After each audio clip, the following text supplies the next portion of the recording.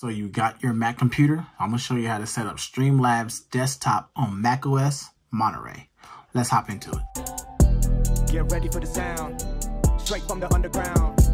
Get What's going on, you wonderful people? My name is Brandon. Welcome back to Crayton TV. First things first, what you want to make sure you do, you want to make sure you have Streamlabs desktop downloaded on your macOS device. Next, hope you picked up a few things where you picked up the Elgato HD60S Plus capture card, or did you pick up the Elgato HD60X capture card? And if you wanted to, pick up the Elgato ChatLink Cable Pro, but I'm going to show you how to set up Streamlabs Desktop on macOS Monterey. So here's a Venn diagram how to set up your capture card for using the Elgato HD60S Plus or the Elgato HD60X with your console. So you want to take your console's HDMI cable, plug it into the capture card's in cable, take that USB-C cable that came into the box and plug that into your computer or I recommend that you get the USB-C to USB-C Godspin cable and you can plug that into your computer. That way you have a direct wire connection. You want to take your second HDMI cable and plug that into the output of the capture card and then take the other end and plug it into your monitor. You want to make sure you download Streamlabs for your Mac OS uh, device. Then next, you want to be go over to uh, the Elgato website and you want to download. So now, if you're using the Elgato HD60S Plus capture card, you want to go here. This this website will also be down in the description box down below. But you want to go down to the Elgato HD60S Plus and you want to download the game capture for the Elgato HD60S Plus. You want to download that for Mac.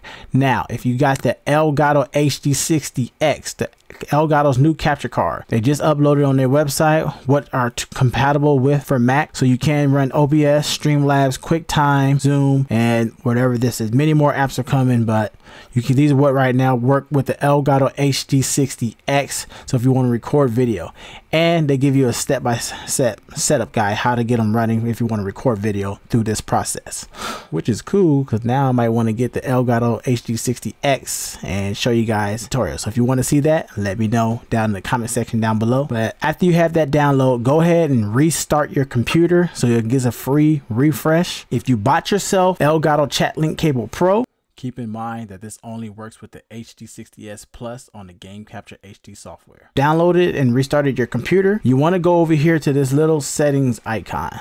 You want to make sure that you have that this checked off with analog. That way you can hear your game audio, talk to your party while using the chat link cable which means that you're going to be using the Elgato Chat Link Cable Pro. You want to have this checked off. But if you want to pull all your audio through HDMI, then leave it unchecked and set this to HDMI. Now, to run Streamlabs Desktop, you must make sure that you have the Game Capture HD software closed. It will not work if you have it open. So make sure you close that fully and you don't have to worry about that. So prior to that, what you want to do now, you're going to want to open up Streamlabs Desktop after you get it downloaded on your computer. Once you have Streamlabs desktop downloaded on your computer, you should be on version 1.9.1 and you want to sign in to your preferred software wherever you're going to stream to either Twitch, YouTube, Facebook gaming. Once you do that, you should get this screen. From there, you're now you're on Streamlabs basic home screen. This is your layout. This is what you're going to use to stream and read chat off and everything else. So whenever you start streaming, if you want to see chat, there's a little arrow that's right here that helps you see the chat and then your live stream. So you want to come down here to the settings icon. Your stream should be signed into whatever destination you're going to be streaming from. Now you want to set up your settings just like this. You want to click on the tab that says output. Change the output mode to advanced. From there, you'll be able to have more features. So your audio track, you want to set to one. You want to make sure you're using the Apple hardware encoder. Now, if you have an M1 Mac and you don't see the hardware encoder, you can use the software encoder. Still sufficient. You should see the hardware encoder. From there, you want to make sure you check off Enforce Streaming Service encoder settings. Your bit rate. Your bit rate is going to be for your internet upload speed. So what you want to do is if you don't know your internet upload speed, you might want to download speed test or go to Google and search internet speed test and track what your internet upload speed is. I'll show you mine for, for right now. This is running macOS Monterey.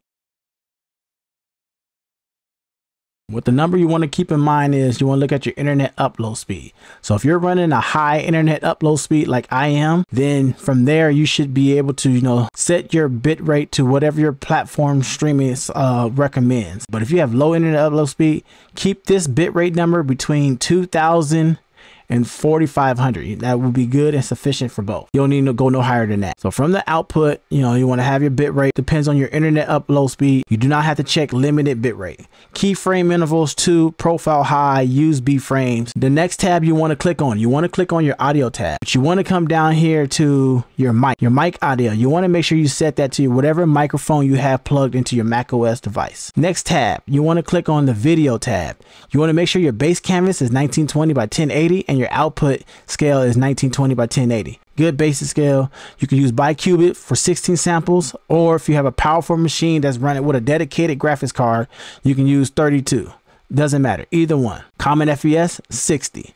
Now you want to see like, okay, how do I get my gameplay on there? So you're gonna have your sources section. You're gonna click on the little plus icon. From there, you want to add a video capture device. And in that video capture device, you can name it to whatever you want. If you want to click on the drop down menu, you want to click on the game capture card change this preset to 1920 1080 hit done. Now you can resize this and just drag it out. I find it faster if you just right click and go down to transform and hit fit to screen and lock it in place. Doing that being said now that you got your gameplay now you need your gameplay audio. Next you're gonna go back to that little plus icon. And you want to hit the audio input capture. This is where you're going to add the game audio from the capture card. Name it to whatever you like. Now you're going to get this screen once you get this screen, you want to, it's going to say device and default. You want to click on this drop down arrow. You want to select your capture card so it can bring in the audio and then it's going to say audio monitoring. You can set this to mute monitor only and mute the output or you can mute monitor and um, have the output. Set it to both, doesn't either one doesn't matter.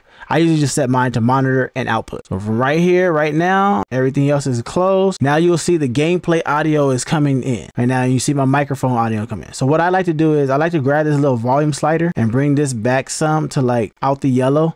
That way your gameplay is not louder than your microphone. But now you're like, okay, well, I want to add a webcam and everything else. So everything that you want to want to find and add will be in this plus icon. Make sure you keep in mind that anything that you you add to the sources you want to make sure it's above the HD60S, your capture card. That way you can see your gameplay. So you want to add, if you want to add a webcam, you go back to here, you go to that plus icon, and you go back to another video capture device, and then do the same steps. But you click on video capture device, you click on add source. Instead of adding the same source, you want to click down here where it says add a new source instead. So now that you got Streamlabs desktop up and running on macOS Monterey, go ahead and give it a shot come back to this video, leave a comment down below and let me know what is your experience with Streamlabs Desktop and how you liking it so far.